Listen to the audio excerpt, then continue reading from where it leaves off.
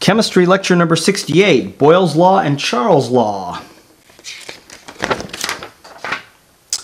Boyle's law predicts that if a balloon filled with gas is taken to the top of a mountain, the balloon will swell because the atmospheric pressure is lower.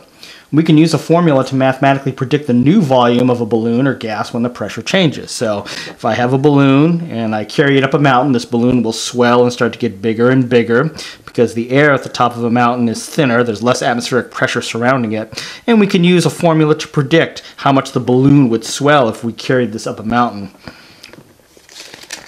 Here's our formula. Boyle's law formula is P1 V1 equals P2 V2. So P1 is the initial pressure of the gas, and V1 is the initial volume of the gas, or the initial size of the balloon. P2 is the new pressure of the gas, and V2 is the new volume of the gas. And I think I should point out that when we talk about what is the pressure of the gas, you know, if we have a gas, uh, the pressure uh, of the gas is the pressure inside the balloon, and the pressure inside the balloon matches the atmospheric pressure pushing outside the balloon. So whatever the pressure is inside the balloon, that's the same as the atmospheric pressure pushing around the balloon. All right. So let's try a problem. A gas has a volume of 242 milliliters and a pressure of uh, 87.6 kilopascals. So the balloon is this size, and this is how much air pressure is in the balloon. Uh, what is its volume at standard atmospheric pressure? 101 kilopascals. So uh, we're saying now that what's happening is that this is going to be the new pressure inside the balloon, and we want to know what happens to the volume. Okay, so the initial pressure 87.6 is P1, and the initial size of the balloon is uh, 242 milliliters. And then what happens is um, somehow the pressure in the balloon changes to 101 kilopascals, and we want to know what's happened to the volume. Um, and I guess we, we could say that uh, the balloon is taken to uh, an area where there's more atmospheric pressure surrounding it. So we can predict that the uh, balloon is going to get squashed if the pressure surrounding it, and therefore the pressure inside the balloon uh, gets bigger. Anyway, our uh, formula is P1V1 equals P2V2. The initial pressure is 87.6. The initial volume is 242, and then the new pressure is going to be 101 right there. And we're going to solve for the uh, volume. And what I like to do is I like to write the numbers with the units and then rewrite it without the units because I get confused when I try to solve it uh, with the units in place. All right, anyway, 87.6 times 242 equals 101 times V2. So uh, looks like this times this divided by 101 uh, kilopascals, which is what we have down here. So if you solve this expression, you'll get 209.893. And in high school chemistry, we round to three significant digits. So this is going to be uh, 2.10 times 10 to the 2 milliliters, or you know, something close to 210. Now, does this answer make sense? Boyle's law says that when a gas is placed under increasing pressure, it's going to shrink.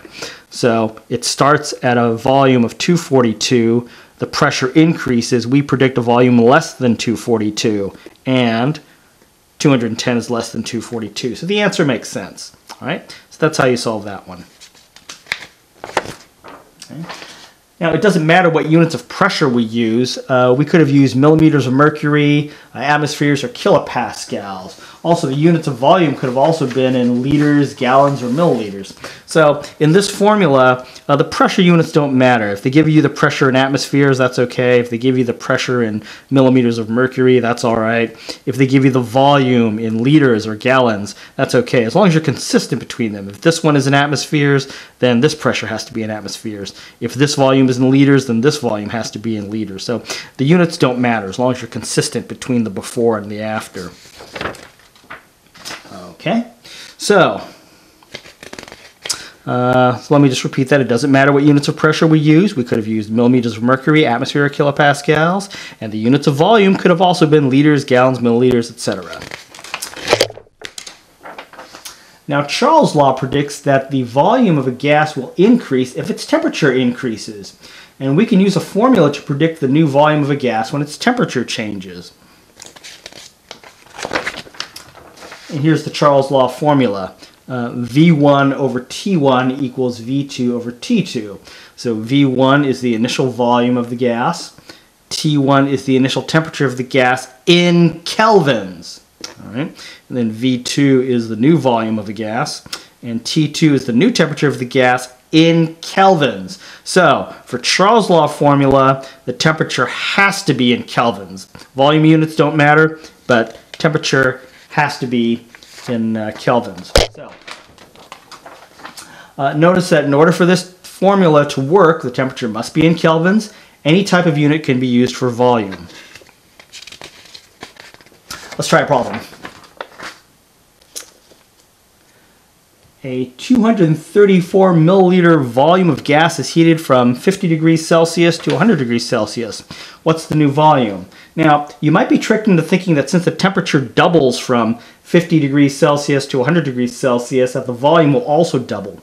Uh, but Celsius is not an accurate measure of the kinetic energy of the gas. We need to convert the temperature to Kelvin. I mean, if it went from 50 Kelvin to 100 Kelvin, yeah, then we could say the uh, volume doubles. But unfortunately, these are in Celsius. We have to convert these into Kelvin.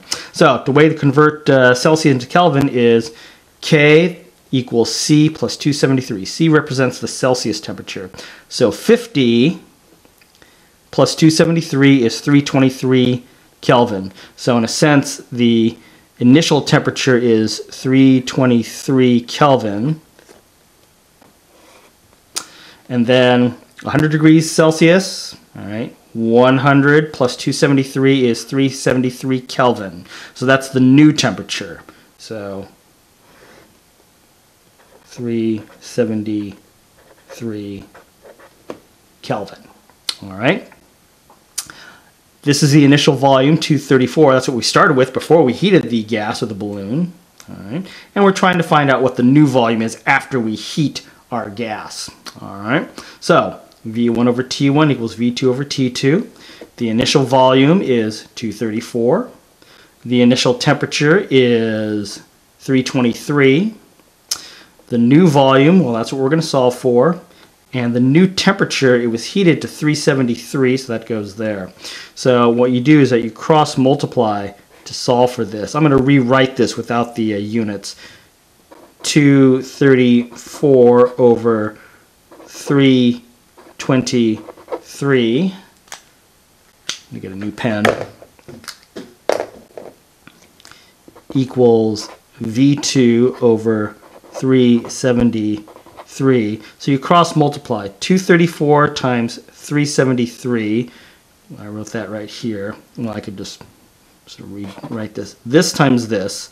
234 times 373 equals 323 times V2. Alright, and then to get V2 by itself, we divide both sides by 323 that cancels, and you end up with that. All right, so 234 times 373 divided by 323, that gives us 270.229. And to three significant digits, that's going to be 2.70 times 10 to the 2 milliliters. Now, does our answer make sense? Um, we've increased the temperature from 323 to 373, so we predict that the volume will increase 234 and then the volume changes to about 270. So yeah, the answer makes sense. 270 is bigger than 234. For a PDF transcript of this lecture, go to www.richardlouie.com. This has been Chemistry Lecture number 68, Boyle's Law and Charles' Law.